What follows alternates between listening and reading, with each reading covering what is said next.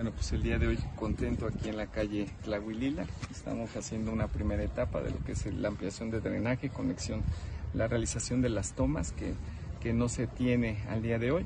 Comentaban los vecinos que, bueno, pues hace cinco años prácticamente se empezó con esta obra. Eh, ya no se movió nada. Al día de hoy, bueno, pues la intención es poder concluir el tema de drenaje